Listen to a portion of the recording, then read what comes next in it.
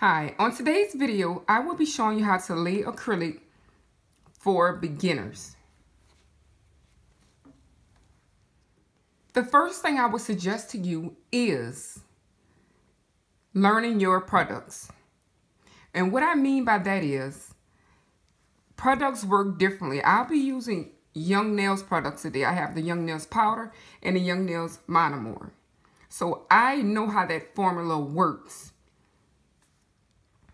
Before applying acrylic, we want to make sure that the natural nail bed is prepped, meaning we have removed the natural shine off with electric file with a low speed sanding band or a hand file, just removing the shine. I'll have that in a different video when I'm doing an actual nail.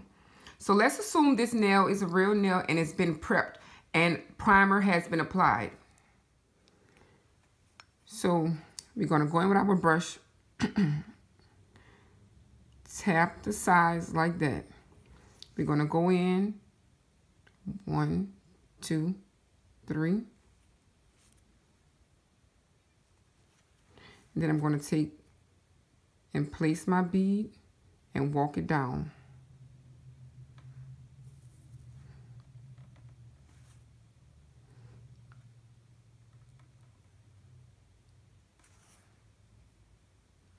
Try to keep your finger down at the time, so let it flow.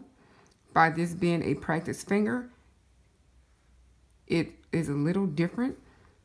I have to hold it down, but if it was somebody's hand, kind of like the same thing. So,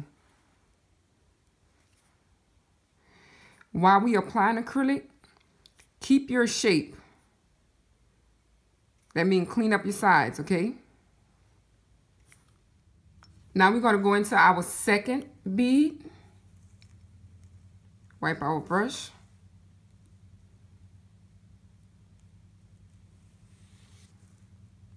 Wait a few seconds.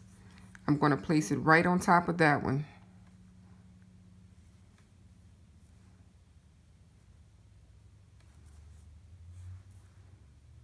And just lightly press it down. Clean up the sidewalls.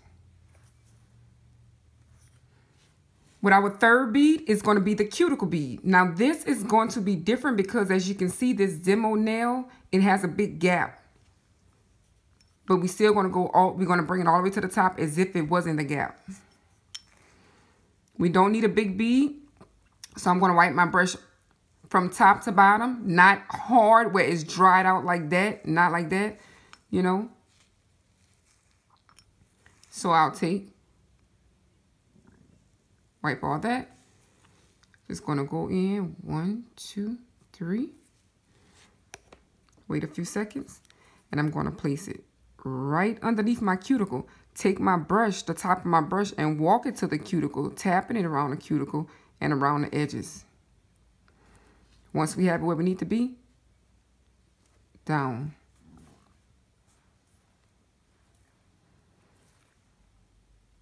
Clean up sidewalls.